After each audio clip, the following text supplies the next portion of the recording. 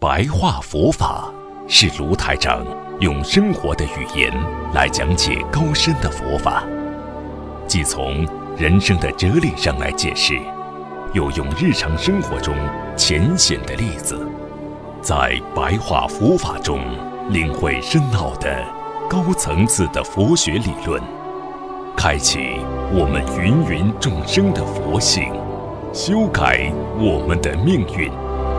请收看卢台长的白话佛法。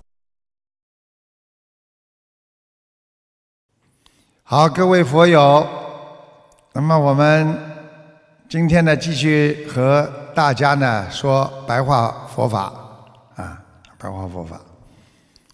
我们每一个学佛的人都要懂得啊，心情是。人的一种啊感觉，有的时候心情好了，你感觉就好了；心情不好了，感觉就不好了。但是要记住，心情不是人生的全部生命啊。但是呢，他有时候呢，心情呢却能控制你人生的啊大半的生命。所以心情好，有的时候什么都好。心情不好，你的心就乱了。不要让你的人生啊输给了你的心情。所以，一个人有学佛精进智慧的人啊，我们常常不是输给了别人啊，而是啊输给了自己的心情。所以，不要用坏心情。来贬低了我们自己学佛人的人格和他的形象，啊，有的时候你心情不好，让别人看到你的能力不足啊，因为会降低我们的能力，会扰乱了我们的思维，从而最后输给了自己，啊，所以一个有智慧的人，学佛的人。他能够控制好自己的心情，能够处处明白我今天所处的环境和位置应该说什么话。我今天的心情不好，我应该怎么处理这件事情？当我心情好的时候，我应该怎么处理这件事情？这样，你就能控制好自己的感觉。生活才会处处的显示出祥和啊！生活本来不苦，苦的是我们人生的欲望太多啊！你看看，我们今天要这个，明天要那个，后天我们又需要这个，又需要那个。心本来不累的，累的是我们。放不下的东西太多太多，所以我们人生本来不苦，苦的是我们的心，苦的是我们对人间物欲的一种追求啊！所以人生就是欲望和所求的不断的增加和减少的一个过程。你如果对人间的欲望增加越多，你烦恼越多，痛苦越多。如果你对人间的欲望慢慢的学会放下，那么你慢慢的就会领悟到生命的真谛。因为这个世界的真谛就是苦空无常。我们来到这个世界，我们受了很多的。然后我们最后走的时候得到的一切都是空的，生不带来，死不带去。最后我们又以一生的无常来总结自己。没有一件事情是长久的，没有一句话是长久的，没有一个思维能够长久，和没有一个行为你能够永远的。拥有它，所以在物质上和精神上，基本上都不能拥有。所以，对生命的深层次的意义，就是让我们懂得苦空无常的真谛。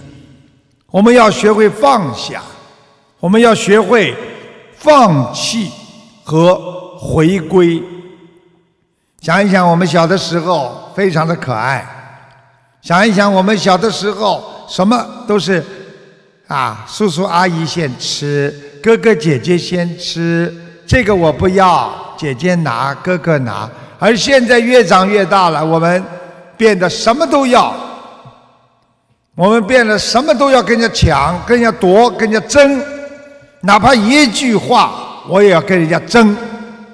这就是我们人生，因为忘记了我们的本性和本来的面目，所以我们需要的是回归本性，放弃我们人生的。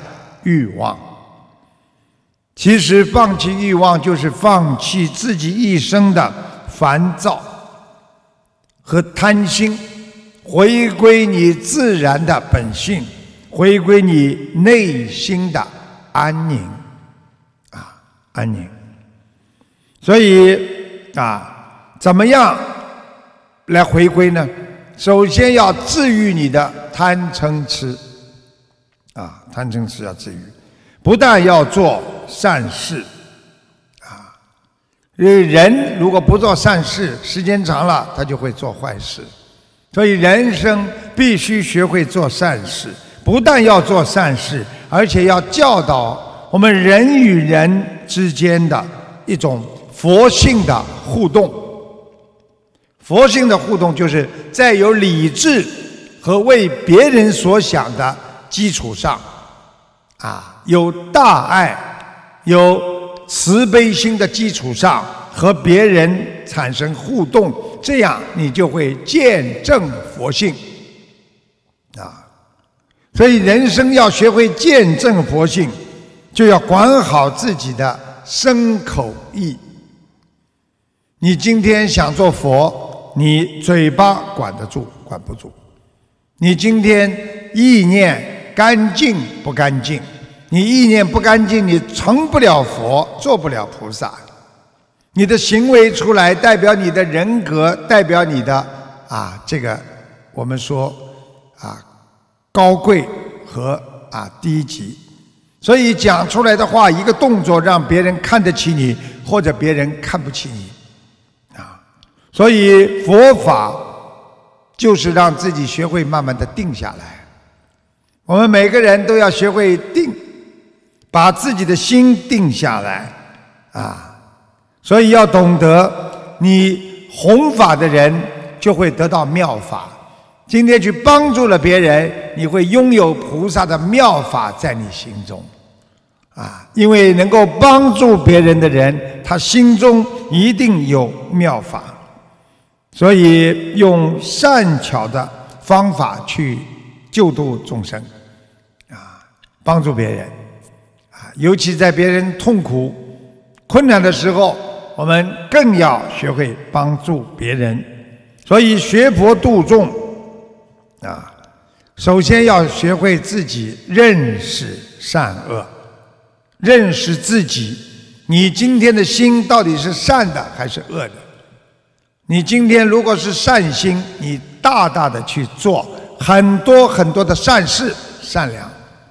如果你今天心情不好，想的都是恶事，那你不能去做任何事情。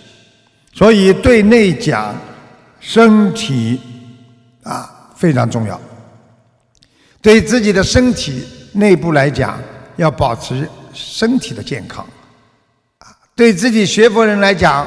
外部要保持自己精神的健康啊，所以身体的气场平衡，我们说平顺。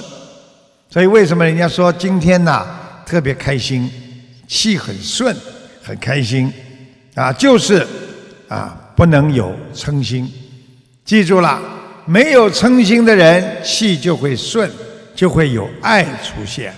你的。气场一顺畅，你烦恼就不会产生你今天有妙法度众，你的烦恼就离你而去。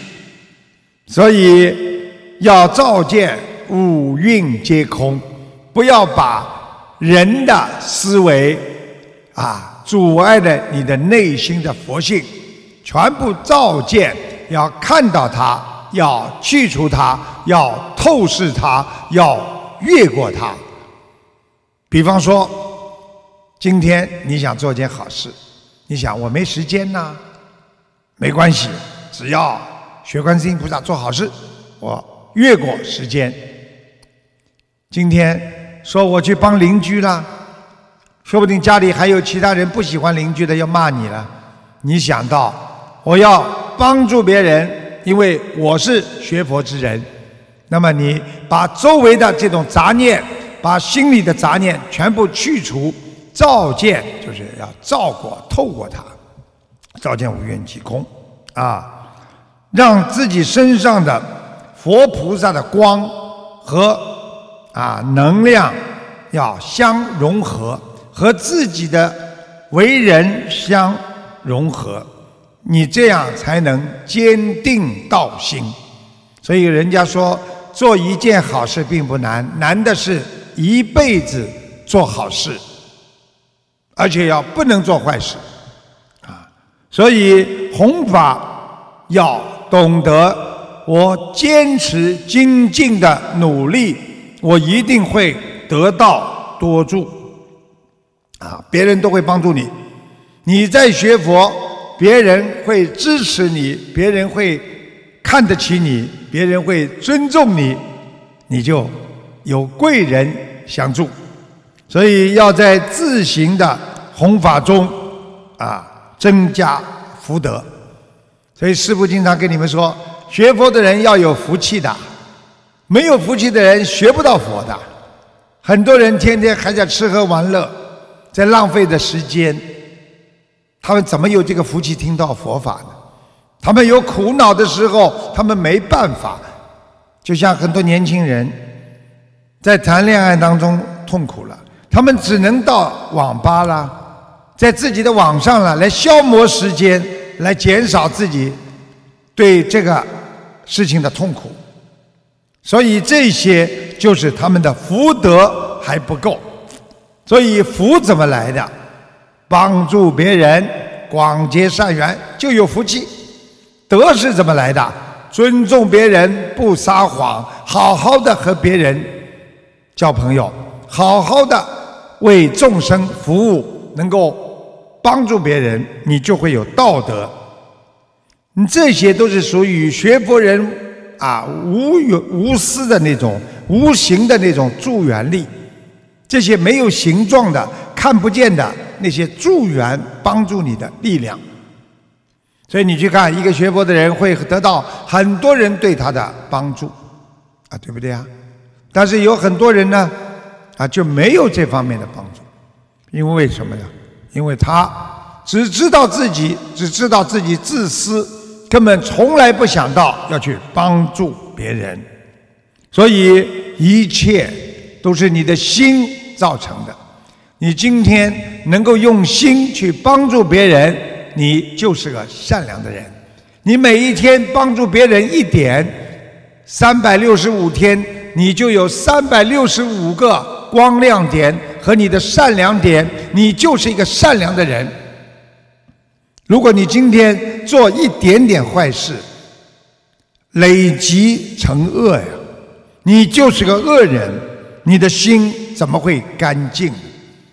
所以我们修心的人要修成干净，这样才能啊，这个对外面的这个邪思邪见和不如法不如理的事情。